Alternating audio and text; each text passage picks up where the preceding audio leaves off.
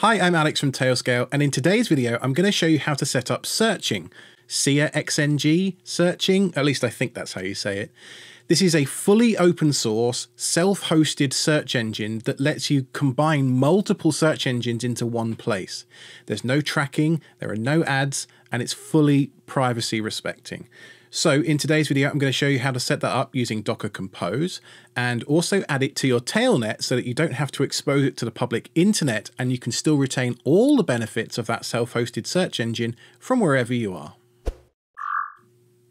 Those of you that have been around this channel for a little while will know that I'm pretty big into self-hosting.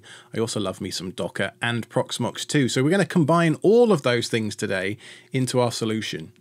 Now we need to start by creating a runtime, somewhere to run this search instance. It doesn't need much in the way of resources, and I'm going to use my Dell 1 litre PC Proxmox cluster. This thing is just three of those 1 litre Dell PCs in a little rack downstairs. It really doesn't need much compute power. This would quite happily run on a Raspberry Pi, for example.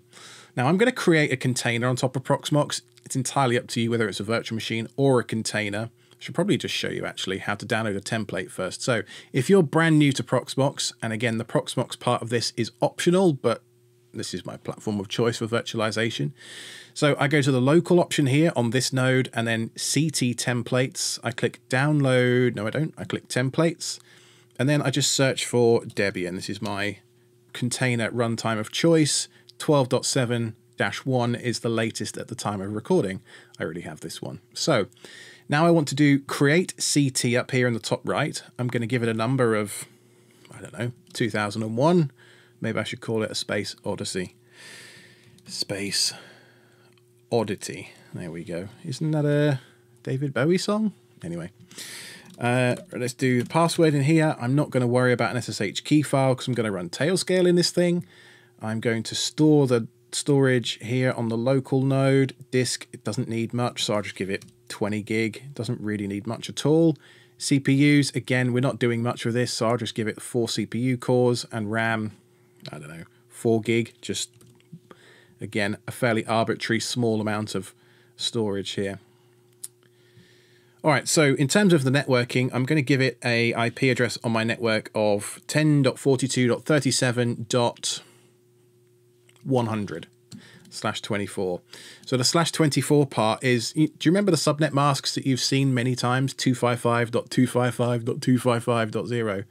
Slash 24 is a humane way of writing that for a change. So that's all we're going to do here. Is, and then we're going to put the gateway for my local network into this box here.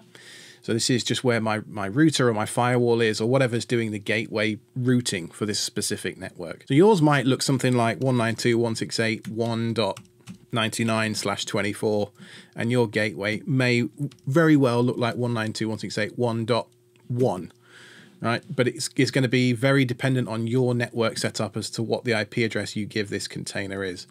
Now, none of this is specific to SearXNG. This is all just sort of basic network stuff, creating a, a virtual machine or what have you. If you already have a Docker host, there are chapters down below and you can just skip this entire section because uh, we're going to jump to a, a, point later on where we're just using Docker Compose to spin this thing up. So if that's you, use the chapters and skip ahead. All right, so we are going to leave the host and the DNS. I'm actually going to change this because I wanted to override resolv.conf inside the container such that it always has DNS. In fact, I think I'm going to do this with the DNS of the gateway itself rather than pointing out to Cloudflare publicly. All right, so that's done. Now, because this is Proxmox and an LXC, we're going to need, I want to install Tailscale in this thing, so we're going to need to make a slight change to the configuration here. So if we type Tailscale LXC into, ironically, into Google, uh, and scroll down and just get this little instructions section here and just copy these two lines onto your clipboard. We're then going to need to go back to our Proxmox host, note the container number 2001, okay, go to shell, bring up an editor, I'm going to use Vim, so etsy slash pve lxc 2001.conf, and then I'll do a shift G to go to the bottom of the file, and then I'll do an O to um, add a new line underneath what I've already got, and then press escape, and then colon write quit. This is going to give that container permission to create devices on the dev net tun device so that Tailscale can actually run inside the LXC container. Then I'm going to do PCT start 2000 and, 2001, not 2011. Then I'm going to do PCT start 2001, and this is going to start this container up. So now if we jump into the shell here, we can see I've got a brand new LXC container. Just going to update my packages out of habit. There usually isn't a huge amount on these images, but just for the sake of completeness, I like to do these updates before I proceed. Now next we're going to need to install Tailscale. So whilst that's running in the background, I'm going to do Tailscale download. Again, the irony that we're using Google for this. Uh, and click on the Linux option here and then just get the one click install command that's there. Now I'm going to curl and install that. And of course, because it's Debian, curl is too much bloat to install out of the box. So I'm going to do an apt install curl and then I'm going to curl and install Tailscale this way. I'm also going to install Docker as well. So I'm going to go to get.docker.com copy this first half of this step number one to my clipboard. Tailscale is now installed, so I'm going to do curl and then just pipe it to shell. If you're not comfortable with doing that, you can follow the instructions on the Docker site and do it all step by step, but this just does it all in one go for me. Once the LXC container is rebooted, go ahead and get logged in again, and then do a Tailscale up. I'm going to do a dash dash SSH just because habit, I like to be able to SSH into everything on my tailnet. I'm going to copy this um, authentication URL. This presupposes I've already got a tailnet created. If you haven't, you can go ahead here and, and sign sign up for one at tailscale.com. I'm going to authenticate with my Google identity provider, which is the one that I use for all of these demos. I'm then going to connect the device Space Oddity to the a tail and scales at Gmail tailnet. So you'll see in here there's a few different nodes. I actually don't need this one anymore because this was all stuff I was doing last week for live streams. So you can see we've got a couple of nodes in here. In fact, I'm going to remove this one too.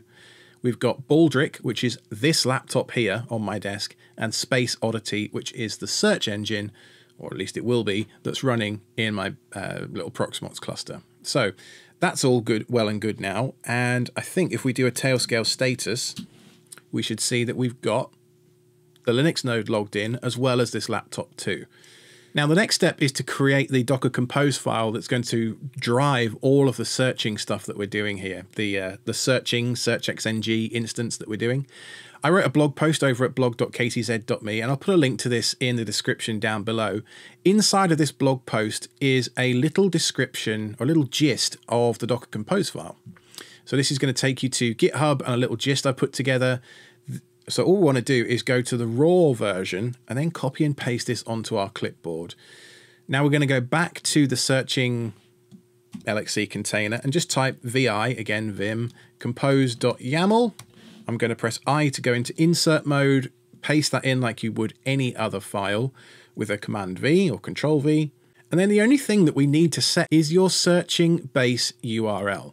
Now, where do we get this? With Tailscale, at least, every single node gets a fully qualified domain name for free out of the box, and that's what we're going to use today.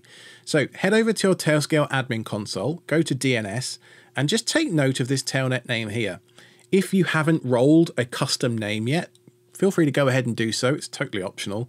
But you're going to want to click on Rename Tailnet and then go through and roll the dice so that you get a fun novelty name like Velociraptor hyphen Noodlefish.